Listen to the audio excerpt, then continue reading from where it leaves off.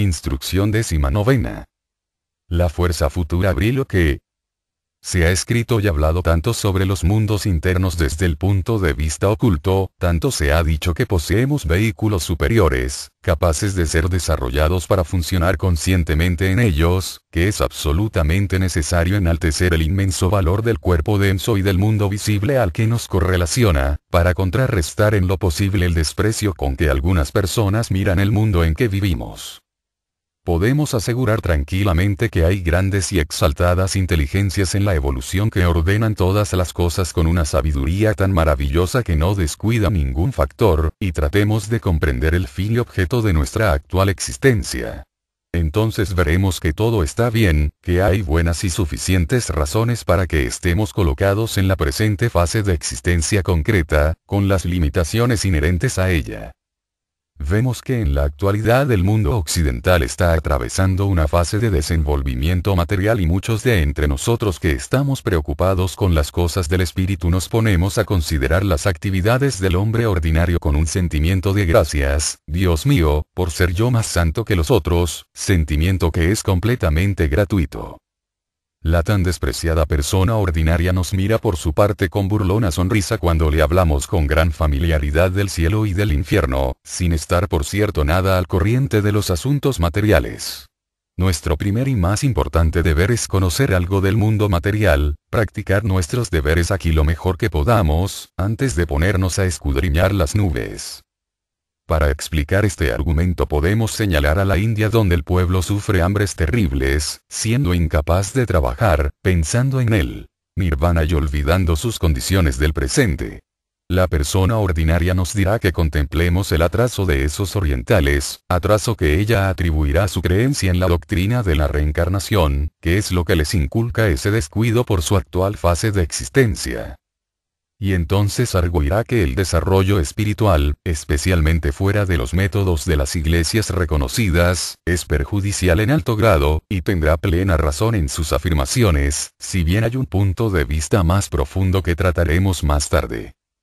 Para desarrollarnos en forma sana y segura debemos tener positivamente una apreciación correcta de la misión de este mundo en el plan divino de desenvolvimiento que se llama evolución, y darnos cuenta completa de la parte que nos toque en la obra del mundo.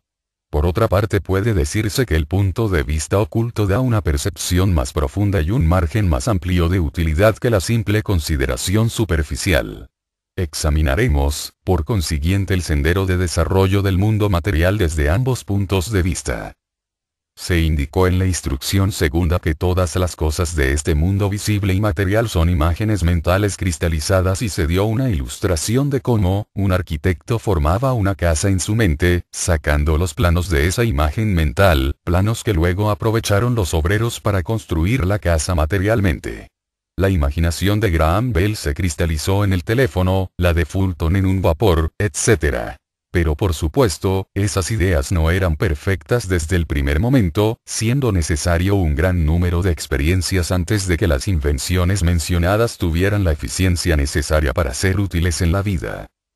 Si nos imaginamos este mundo en que vivimos como un mundo del pensamiento, en el que pudiéramos formar imágenes similares a cuadros mentales, pero donde no fuera posible concretarlos en metal o en madera, que hubiera resultado en casos tales como el del teléfono o del vapor, el inventor habría creído su invención exacta, al no existir condiciones materiales que demostraran las imperfecciones de su pensamiento, y por consiguiente no habría aprendido a pensar correctamente. La misión del mundo material, concreto, es hacer manifiestos nuestros errores. Estamos desarrollando un poder enorme dentro de nosotros mismos y en el mundo físico tenemos la condición más ideal para desarrollar la habilidad requerida para poder usar aquel poder convenientemente. Sin esa habilidad, en los estados de materia sutiles produciríamos perjuicios inmensos. La que es la fuerza venidera lo veremos cuando echemos una mirada retrospectiva sobre el pasado desenvolvimiento, lo que nos dará la verdadera medida de la perspectiva. En los primeros albores de la existencia humana, el hombre actuó principalmente con los sólidos, sus primeros implementos fueron piedras afiladas, lo que es de dominio corriente. Más tarde comenzó a obrar sobre los líquidos, viajando en su burda canoa por el agua, o empleando esta para mover sus molinos. Más tarde aprendió a emplear los gases, el viento, como fuerza de propulsión para los barcos o para los molinos. Ese fue un inmenso progreso puso las partes más distantes del mundo en comunicación y ensanchó los conocimientos del hombre inconmensurablemente, pero aún los progresos obtenidos por el empleo de la fuerza del aire son insignificantes comparados con los obtenidos desde que se comenzó a emplear un gas más etérico el vapor.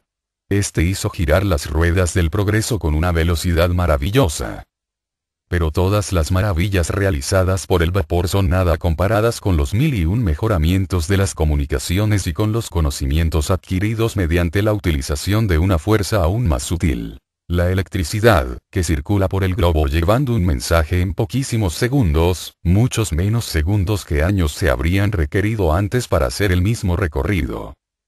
Vemos, pues, que el progreso humano se ha realizado por el empleo de fuerzas cada vez más sutiles y que cada vez que hemos aprendido a utilizar una energía más sutil que la que antes empleábamos hemos hecho grandes progresos en la civilización.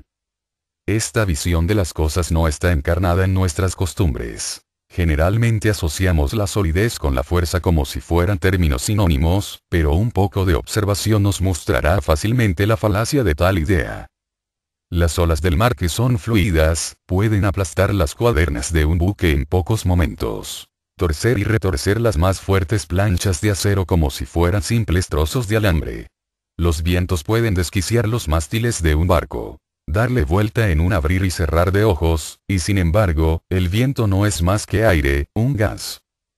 El agua, un fluido, está socavando las colinas de Seattle, Washington, y afectando la solidez de sus edificaciones. Cuando contemplamos las grandes locomotoras con sus trenes extremadamente pesados y admiramos sus poderosas calderas, nos fijamos alguna vez en que están tan sólidamente construidas debido a que en ellas sobra un gas, elástico, invisible el vapor. El molino de agua era inútil como productor de energía, salvo cuando se lo ponía en contacto directo con una fuente de energía estacionaria, una cascada. El poder del viento era mejor, podía emplearse como fuerza de propulsión en todo el mundo, pero era voluble e incierto. El vapor era ya más ideal, puesto que se podía obtener a voluntad y casi en cualquier parte pero requería maquinaria poderosa que se moviera, como se ve en la locomotora que no es más que un poder movible. La electricidad puede transmitirse a millas de distancia por medio de un pequeño alambre, pudiendo emplearse en cualquier parte a lo largo de esta línea puede ser almacenada, embotellada en realidad, y después sacada a voluntad. Puede hasta ser transmitida sin necesidad de alambre de un lugar a otro por medio del omnipresente éter. Hemos pues, demostrado que el progreso humano del pasado se ha realizado por la utilización de fuerzas de creciente sutilidad, agua, aire, vapor, electricidad, y que la creciente utilidad de cada una de esas fuerzas está aumentada además por la facilidad con que pueden transmitirse y utilizarse en diversos lugares. El último progreso ha sido la transmisión de la energía de una fuente central a diversos puntos sin necesidad de conexión material como en la radiotelegrafía. Habiendo, pues, visto los progresos pasados debe ser evidente que todo progreso ulterior de la raza humana depende del descubrimiento y utilización de una energía más sutil transmisible con facilidad aún mayor que las fuerzas que ya conocemos. ¿Cuál será esa nueva fuerza? ¿Qué papel jugará en el desarrollo de la raza humana y en qué sentido hay que buscar su descubrimiento? Tal es la naturalísima triple pregunta que ocurre y la que trataremos de contestar. En su obra, La raza futura, Bulwer Lytton nos dio una vislumbre de lo que será esa fuerza futura. Como todas las demás novelas nunca ha sido tomada en serio, sino que se la ha considerado solamente como el producto de la fantasía de un autor de talento. Las novelas de Julio Verne han encontrado por parte del público una actitud de admiración similar por su vivida fantasía. Y sin embargo, no se han realizado muchas de ellas, la vuelta al mundo en 80 días, es ahora demasiado lenta para un viajero del siglo XX. La navegación submarina y las naves aéreas son una realidad de nuestros días. En verdad, la mente humana no puede imaginar nada que no sea posible realizar. Esto parece ser una afirmación extravagante, pero no queda justificada en vista de lo que ya se ha hecho, e invirtiendo nuestra argumentación podemos decir que algo parecido al Brill de Bulverliton tendrá que descubrirse antes de que el hombre pueda dar el subsiguiente gran paso de progreso. Ciertamente, grandes y maravillosos descubrimientos están ante nosotros esperando una explotación más intensiva de las fuerzas que ya poseemos, pero el próximo gran paso depende del descubrimiento y preparación para su empleo de la fuerza venidera. Se hicieron tentativas para construir la máquina de vapor mucho antes de que se obtuviera el éxito que ha alcanzado en nuestros días. Los hombres de ciencia conocieron también algo sobre la electricidad anteriormente, pero se ha necesitado largo tiempo para que esas ideas maduraran y pudieran aprovecharse prácticamente. Similarmente, mientras seguimos marchando y explotando las fuerzas que conocemos sabemos que tenemos que prepararnos para la fuerza venidera y si la hallamos podremos encontrar los medios de usarla con más rapidez. Echemos una ligera mirada sobre el bril de Bulverliton, pues entre todo su ornamento fantástico hay una verdad inestimable oculta allí. El bril era una fuerza que se generaba dentro de los personajes de esa novela. No dependía de una maquinaria externa que costara dinero, que podía favorecer a los pocos y no a la mayoría. Todos sin excepción poseían en la raza futura ese poder desde el nacimiento hasta la muerte. Ciertamente que ese es un ideal muy superior a una estación central de energía. No había necesidad alguna de elevadores, puesto que cada uno levitaba voluntad. Tampoco eran necesarios los tranvías, coches o ferrocarriles, pues todos podían moverse rápida y fácilmente por su propia fuerza. De nada servía los barcos cuando el hombre podía volar por el aire sin necesidad de exponerse a los inconvenientes inherentes de los viajes por tierra o por mar. Y véase con cuánta menos resistencia podía volar como el pájaro, sin tener que depender de aeroplanos u otra cosa semejante. Como todas las demás fuerzas el bril podía emplearse como medio de destrucción. Era también rápido en eso, así que tenía que tenerse sumo cuidado en su empleo. Era necesario poseer el dominio propio en el más alto grado, pues si uno se dejaba arrastrar por un acceso de ira se hubiera originado espantosos desastres. Si alguna vez tenemos que emplear esa fuerza podemos ver muy bien la gran necesidad que hay de que seamos buenos, cariñosos y que no tengamos enemigos. Nuestras vidas estarían en manos de los demás a tal extremo cual ni por soñación se nos ocurre. Cuando miramos dentro de nosotros mismos con objeto de ver si es posible que una energía semejante esté desarrollándose incipientemente, no tardaremos mucho en encontrarla, viéndonos obligados a reconocer ese poder de vastísimas posibilidades en el poder mental. Nuestras ideas toman forma en las imágenes mentales que formarnos con gran facilidad cristalizándolas después en cosas materiales de manera excesivamente lenta y convirtiéndolas en ciudades, casas, muebles, etc. Todo lo que ejecuta la mano del hombre es pensamiento cristalizado. Este modo lento que en la actualidad caracteriza la exteriorización del pensamiento en forma de cosas, no debemos tomarlo como medida de las posibilidades ni desalentarnos por el hecho de que el pensamiento nos parezca demasiado sutil y escurridizo. Ha sucedido lo mismo con las otras fuerzas que más tarde movieron las ruedas del progreso. Durante edades innumerables las olas del mar han agotado su energía en batir las costas, pero ahora los inventores están comenzando a aprovechar la fuerza del agua, poniendo generadores eléctricos en combinación con las cascadas. Durante periodos larguísimos los vientos han barrido la tierra y el mar antes de que su fuerza se pusiera al servicio del hombre en los barcos de vela. Durante edades el vapor se escapaba en el aire saliendo de las ollas que empleaba la humanidad primitiva mucho antes de que ésta aprendiera a concentrar su poder y a utilizarlo en las diversas industrias. Así como el vapor se escapa inútilmente de las vasijas de cocina, así también la energía mental radiante de la humanidad actual se escapa inútilmente, y así como el vapor pudo utilizarse concentrándolo así también el sutilísimo poder mental, pero colosalmente potente, puede concentrarse para hacer el trabajo del hombre con una facilidad imposible de imaginar si se compara con las fuerzas actuales, pues estas son simplemente utilizables para trabajar sobre cosas existentes, mientras que el poder mental es una fuerza creadora. Sabemos cuán peligrosas son las otras fuerzas cuando se concentran. Mientras el vapor se escapa de una cafetera no puede hacer el menor daño.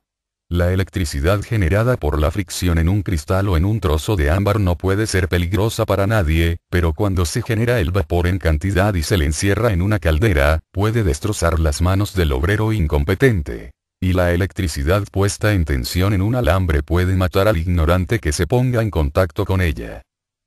Análogamente podemos deducir que el poder mental mal dirigido o empleado ignorantemente produciría efectos muchos más desastrosos por ser una energía más sutil.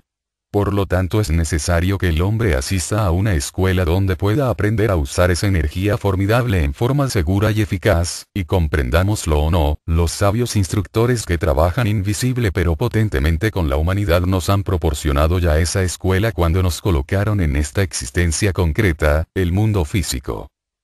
Sepámoslo o no, todos los días, a toda hora estamos aprendiendo la lección del recto pensar y cuanto más y más aprendemos esa lección más nos convertimos en criaturas semejantes a nuestro Padre que está en los cielos.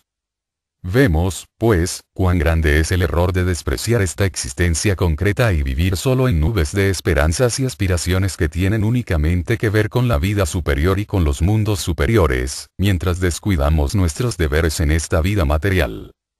Debe ser igualmente claro, sin embargo, que es también un error confinarse a la fase puramente concreta de la vida excluyendo el lado espiritual de nuestra naturaleza. Los extremos son peligrosos. Si reconocemos los dos polos de nuestro ser y tratamos de guiar nuestra existencia material por la luz de nuestra percepción espiritual aprenderemos las lecciones que tan admirablemente se nos han preparado en la escuela de la vida, en muchísimo menos tiempo que el que se necesitaría yéndose a los extremos. Los resultados que produce el irse a uno de los extremos pueden verse claramente, comparando desde el punto de vista oculto, al hindú con los pobladores del mundo occidental. Según indicamos anteriormente, las personas materialistas para justificar su alejamiento de los asuntos espirituales llaman la atención hacia los países y pueblos espiritualistas especialmente la India, diciéndonos que notemos el estado atrasado de los hindúes, la indolencia de los orientales y atribuyen todo eso a su creencia religiosa. Otros han tratado de defenderlos diciendo que los hindúes se encuentran amontonados en países montañosos y áridos, cuya tierra no puede alimentar a los millones de seres que la pueblan, viniendo de ahí las pestes y el hambre.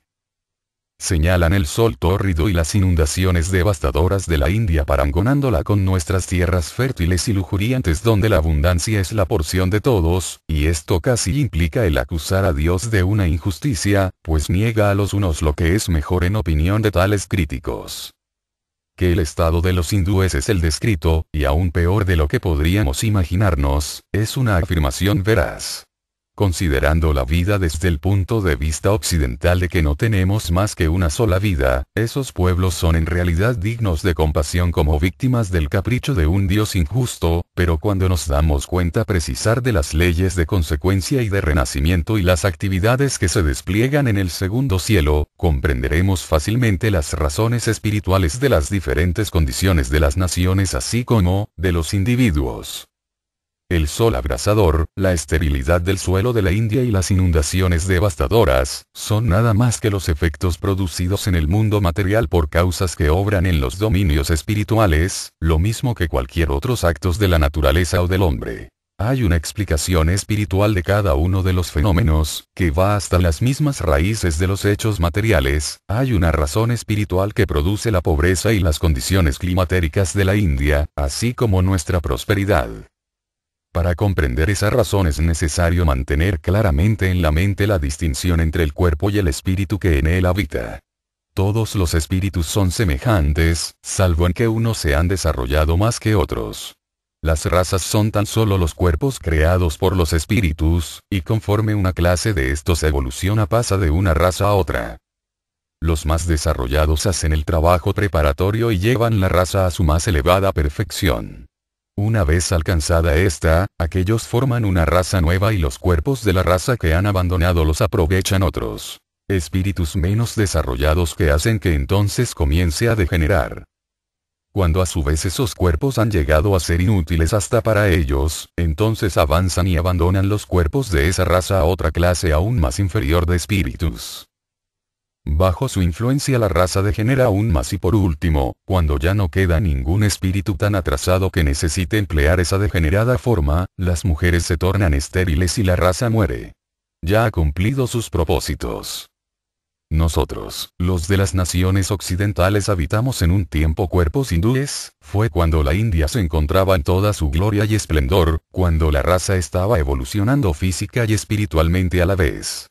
Eso sucedió en la llamada Edad de Oro, cuando las sagradas escrituras vinieron a la existencia, cuando se construyeron los grandes templos, cuando la evolución material y espiritual de la India alcanzaba su cumbre. Pero el hombre estaba destinado a dominar el mundo material por completo. Mientras se creyó principalmente un espíritu y tenía una fe absoluta e inconmovible en la continuidad de su vida mientras conocía positivamente que el nacimiento seguía a la muerte así como la muerte sigue al nacimiento, también comprendía que tenía un tiempo ilimitado para progresar, y por lo tanto solo hacía indiferentes esfuerzos para desarrollar los recursos del mundo material. Por consiguiente, era necesario que olvidara durante algún tiempo la doctrina del renacimiento y pensara que la vida que estaba viviendo era la única que tendría, a fin de que concentrara todos sus esfuerzos para aprovechar la mayor parte de las oportunidades que se le presentaran para su desenvolvimiento material. Cómo se realizó esto es cosa que ya se describió en las instrucciones anteriores, y con más amplitud en el concepto Rosacruz del cosmos.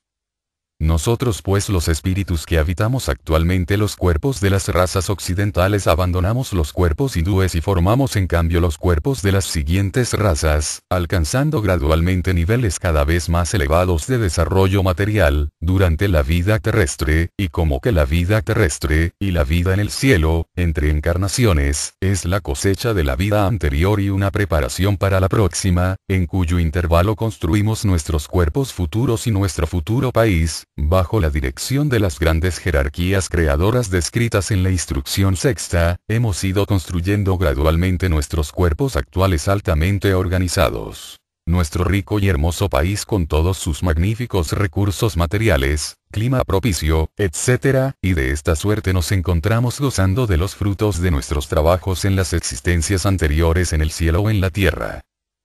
La raza hindú fue la primera de la época aria ha ido degenerando desde que nosotros la abandonamos, y está ahora habitada por los espíritus más rezagados que nacen en cuerpos arios, y como nosotros implantamos esas fortísimas tendencias espirituales en ellos, la herencia conserva aún ese rasgo en los cuerpos hindúes, de manera que son más sensibles a los impactos espirituales que los cuerpos más materiales de las razas posteriores, si bien no es una clase de espiritualidad de tan elevado orden como el que expresamos nosotros cuando estábamos en cuerpos hindúes.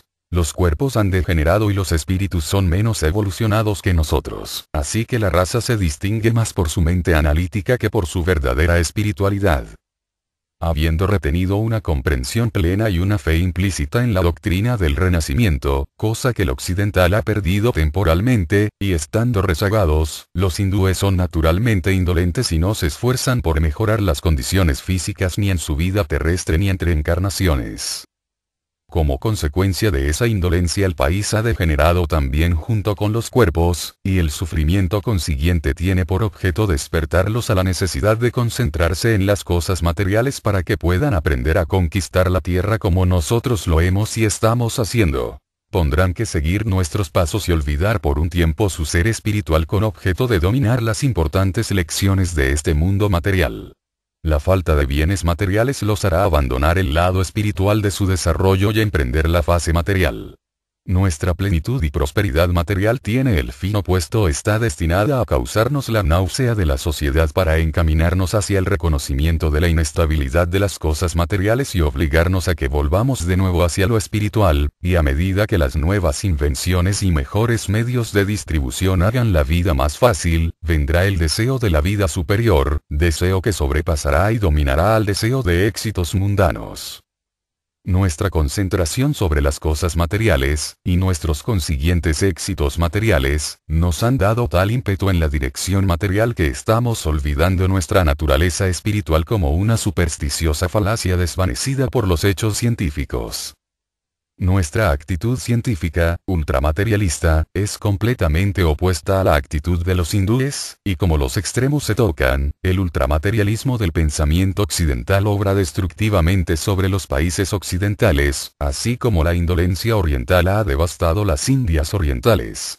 Hay una relación estrecha entre el materialismo y las perturbaciones sísmicas u otras. En el concepto Rosacruz del cosmos, se dedicó un capítulo a la descripción tan amplia como puede darse sin iniciación. Baste decir aquí, que hay nueve estratos de diferente grosor y que el corazón central forma la parte décima. Esta es el asiento de la conciencia del espíritu terrestre. Es un hecho patente para todo investigador ocultista que este espíritu terrestre siente todo cuanto hacemos. Cuando en el otoño el segador recoge los granos, aquel siente una sensación de placer de alegría por haber producido, un sentimiento semejante al que siente la vaca cuando su cría libra sus ubres de la leche. Cuando se cortan las flores sucede lo mismo, pero cuando los árboles o plantas se arrancan de raíz el espíritu terrestre sufre un dolor, porque el reino vegetal es para él lo que para nosotros el cabello. El espíritu terrestre no queda afectado solamente por nuestros actos, sin embargo, siente también nuestra actitud mental. Hay un estrato especial en la Tierra que refleja nuestras pasiones, sentimientos y emociones en la forma más maravillosa y las hace reaccionar sobre nosotros como tormentas, inundaciones o temblores de tierra. El materialismo produce las erupciones volcánicas, y cuanto más predominen las cosas espirituales, tanto menos se harán sentir esos cataclismos en el mundo. Esta es una afirmación difícil de verificar por el hombre ordinario, y no la habríamos hecho si no fuera posible por lo menos dar una evidencia circunstancial de su verosimilitud. Esta prueba deriva del estudio de las tendencias del pensamiento cuando se produjeron las erupciones del Vesubio. La lista de los cataclismos que han tenido lugar en nuestra era comienza con la erupción que destruyó a Herculano y Pompeya, donde pereció Plinio el Mayor 79-79 a.C. Siguiendo en los 203, 472, 512. Ha habido 18 erupciones en 1900 años. Las primeras nueve ocurrieron en 1600 años, durante la llamada Edad Negra, cuando el hombre era ignorante y supersticioso lo bastante para creer en Dios, y hasta en brujas, hechiceros y otras tonterías. Desde el advenimiento de la ciencia moderna, que iluminó al mundo occidental demostrando la superfluidad de Dios, enseñándonos que nosotros somos la inteligencia más elevada del cosmos, que el cerebro es una glándula que secreta pensamientos, así como el hígado secreta bilis que caminamos con la misma fuerza con que pensamos y muchas otras cosas parecidas, esos cataclismos han aumentado correspondientemente. Ha habido nueve erupciones durante los 300 años que la ciencia moderna ha trabajado para iluminarnos contra las otras nueve catástrofes que ocurrieron en la Edad Negra en 1600 años. Las primeras seis tuvieron lugar en los primeros mil años de nuestra era, habiendo ocurrido las cinco últimas en un periodo de 51 años. Si consideramos los progresos hechos por la ciencia en la última centuria, y especialmente en los últimos 60 años, la deducción es obvia de que conforme el materialismo aumenta las erupciones volcánicas se hacen más y más numerosas, y terribles, afectando a la Tierra más frecuentemente.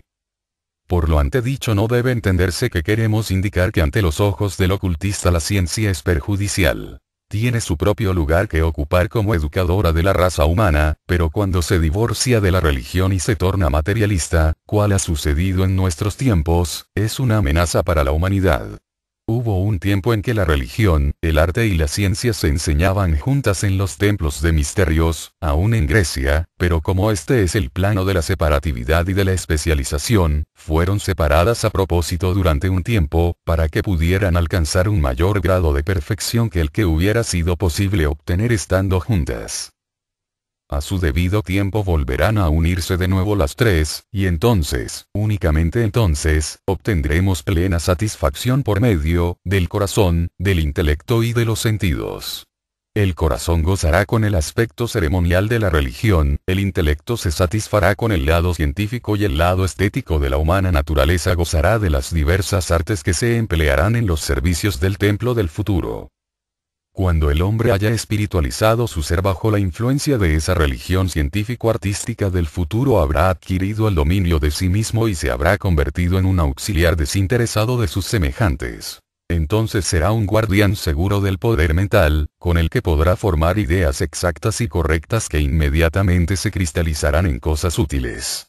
Esto se realizará por medio de la laringe la que entonces emitirá la palabra creadora. Todas las cosas de la naturaleza vinieron a la existencia por medio del verbo que se hizo carne San Juan 1. El sonido o el pensamiento hablado será nuestra próxima fuerza de manifestación, una fuerza que nos convertirá en hombres dioses, creadores cuando mediante nuestro actual aprendizaje nos hayamos preparado para usar ese formidable poder en beneficio de todos, sin tener en cuenta nuestro propio interés.